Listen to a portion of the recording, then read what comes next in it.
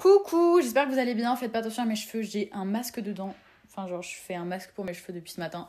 Et là, il est tout séché. Mais bref, euh, c'est pas ça que je voulais dire. Je voulais dire que, je sais pas si vous vous rappelez, mais il y a un mois, j'ai posté une story où je vous demandais de me donner des petites marques qui sont en galère avec le confinement, des petits créateurs euh, qui ont besoin d'aide et tout. Et euh, pour faire ensuite une wishlist de Noël et pour vous donner des idées de cadeaux de Noël de petits créateurs. Sauf que pour tout vous avouer, j'ai absolument pas vu le temps passer. Genre là, on est déjà fin décembre. J'ai l'impression que début novembre, c'était il y a deux semaines.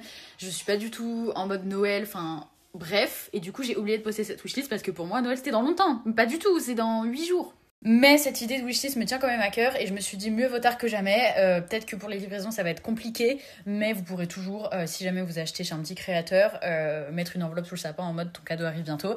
Bref, donc dans les prochaines stories, je vais vous poster quelques petits comptes Instagram euh, qui m'ont bien plu, qui sont euh, tenus par des indépendants, des créateurs, tout ça.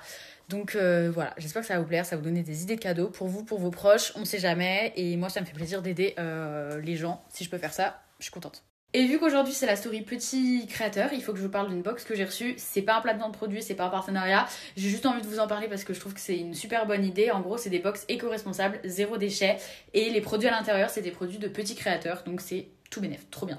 Tout se passe bien pour eux. Ça donne ça. Non, non, lâche. Là, moi j'ai mon micro. Trop hâte que Gabriel rencontre Claude. Comment est-ce que tu vis ce tournage Bah écoute, franchement, t'as une taille pro, hein. Voilà, des cas. Oui, c'est ce que je te veux en tant qu'aventurière sur les deux commentaires. Euh,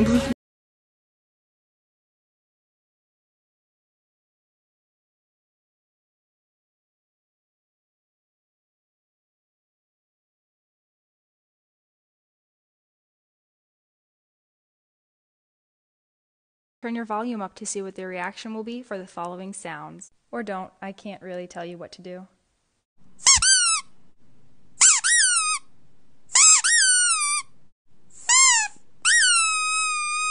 Du coup, on lui a acheté des jeux qui font le même bruit que sur la vidéo parce qu'elle en avait pas avant.